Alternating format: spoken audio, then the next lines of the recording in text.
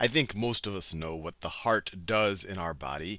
It pumps the blood, and in particular, it takes in the blood from the rest of the body, and it's blue over here in this diagram because that blood does not carry oxygen, and it pumps that blood to the lungs where that blood gets oxygenated. It gets oxygen, and then it comes back from the lungs, and then they depict it as red blood now that it has oxygen in it. And then that oxygenated blood is then pumped to the rest of the body.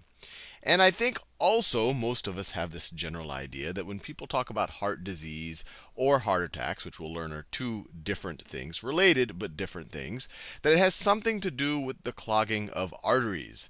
And so when I was a kid and I first learned about the clogging of arteries, and I knew enough to know that the heart is all about pumping blood through the body, I assumed that the arteries that people were talking about were these big arteries, the arteries that are coming away from the heart to the rest of the body, that somehow these things got clogged up. So let me let me draw that a different color you could see. So this was my this is what I thought people were talking about when they were saying clogging of the arteries. And maybe once this got clogged enough, it stopped the blood flow to the rest of the body somehow, and that that would actually kill the person.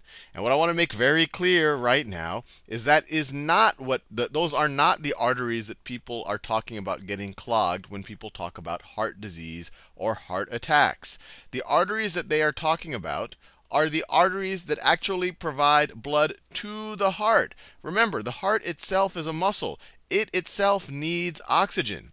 And so you have these arteries right over here. So these red, the red, uh, I guess, tubes that are depicted on this picture, those are arteries. And then the blue ones are veins. They're taking the deoxygenated blood away from the muscle tissue of the heart.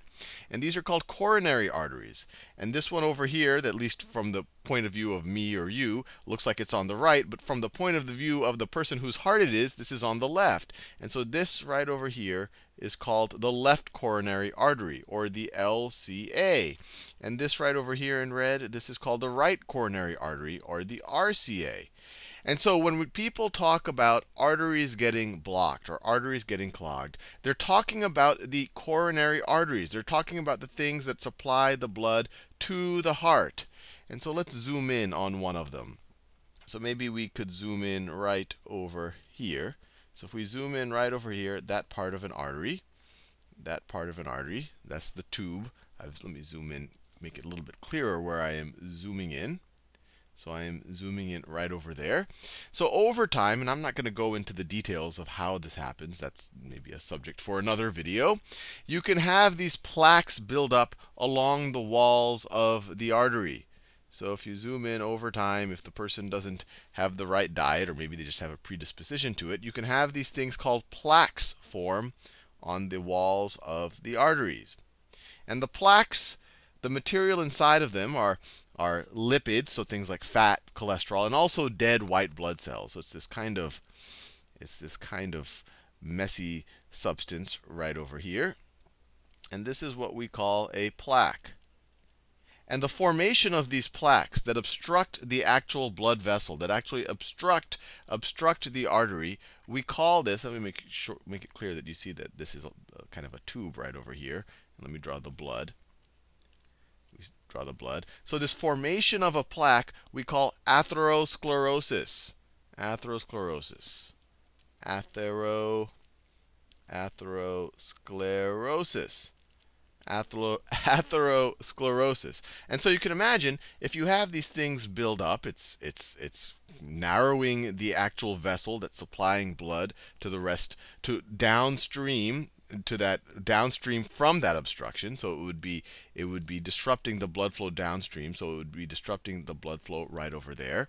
And that general process that we talk about of that restriction of blood flow, that ischemia that's happening. So ischemia is a deprivation of, of blood flow and oxygen downstream from this right over there. That's what we call coronary heart disease or cor or not actually a coronary artery disease or heart disease.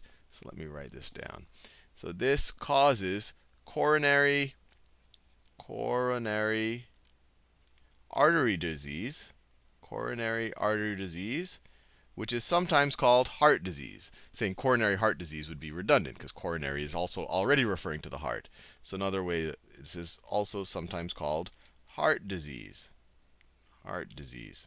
And so you can imagine if the downstream the muscle tissue is not getting all the oxygen it needs, especially maybe when this person's whoever's heart this is, when they're exerting themselves, they need more oxygen. The pump has uh, the heart needs to pump a little bit harder. If downstream these these cells are not getting all of the oxygen they need, you can imagine that the heart maybe is not able to provide all of the functions that whoever's heart this is that they need it to, to, to do. And when that happens, that's called heart failure.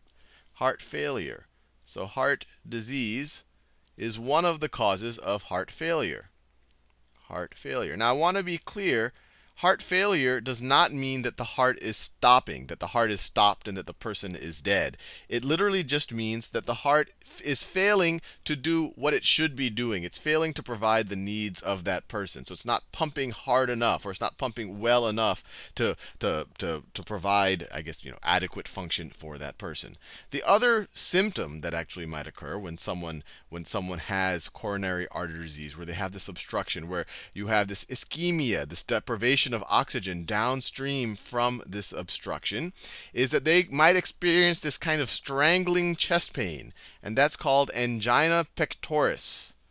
Sometimes angina. Very few people say the pectoris part. You'll sometimes hear people say, "Oh, he has angina." So that's that could also lead to angina pectoris which is really just which is really chest pain. And angina literally comes from meaning kind of the strangling feeling, and then the pectoris is in the chest. So it's literally a strangling feeling in a chest, and this is a symptom of uh, of heart disease. Now, this is already not a situation you want to go get into because already your your body is not able to function as well as it maybe could be, as maybe as well as it could. But sometimes, so what, what I've just described here is a plaque, but some plaques are actually unstable. So this plaque could just grow and grow and grow, and it would make probably the heart disease worse and worse, and the heart failure worse, and the angina pectoris worse. But if this plaque is unstable, it can actually rupture. So you can imagine all this blood flow as this plaque grows, the blood flow becomes a little turbulent around it. The blood flow becomes turbulent around this plaque. I'm drawing the blood kind of you know, because it has to go really fast through this narrow section and then it comes out turbulent on the other side. It could create all of these frictions and all the rest. And at some point, you could imagine that this plaque is unstable and it could actually rupture. So let me draw a ruptured plaque over here. So let me draw, try to draw the same one, but I'm going to draw it ruptured. So now, now this plaque has ruptured. It got so big, and maybe the turbulent blood flow helped stimulate this and whatever else, but at some for whatever reason, it ruptures. So it ruptures. And when it ruptures, now all of a sudden, and I'm doing a simplification of the process right over here. Now all of a sudden, this the kind of this the, the contents of this plaque, the lipids, the, the, the cholesterol, the fats, the, the the dead white blood cells are now all of a sudden exposed to the blood flow, and in particular to the clotting factors in the blood. And this is highly thrombogenic material thrombogenic. Very fancy word, thrombogenic. But that just means that it tends to cause blood clots. A thrombosis is a blood clot. So what happens is, is as soon as this type of thing happens, and it could literally happen in seconds or even minutes, all of a sudden you could have these clotting factors form a clot, form a clot right over here, right at the actual plaque. And as this happens, it starts to really, really, really obstruct the blood vessel. All, and sometimes it could even completely obstruct the blood vessel. And when this happens, you are you're you're you are significantly depleting the blood flow going downstream from there, or you might even be you might even be shutting it off. And when you do that, the cells downflow, uh, the, the cells downstream I should say, the cells downstream will no longer get oxygen and they will die. And this is this right over here is called an infarction. Or they are so that is an infarction. Infarction. An infarct is actually dead heart tissue. And so you can imagine once heart tissue begins to die, so then when the heart tissue begins to die. This is even worse than what we were describing with coronary artery disease. Now, not only were they, with coronary artery disease, they're just not getting enough oxygen. Now they're actually dead. They're turning into dead tissue. And this process of completely or almost completely or completely depriving cells of oxygen so that they die, this is a heart attack. This right over here. So let me, let me completely obstruct this artery to make the point clear. this right over here is a heart attack this or this is the primary cause of a heart attack. There's some there's some it, it's less likely, but sometimes a plaque could also go downstream and kind of form a, a thromboembolism. So it would be it would be a, it would it would be a clot. It would be a it would be this this thrombogenic material that clots around it, and then it would actually go and block an artery further downstream and be an embolism. And so that could also block the, the, the artery and cause tissue to die. But the main cause is just this, this intense clotting that can occur pretty quickly and completely obstruct the artery.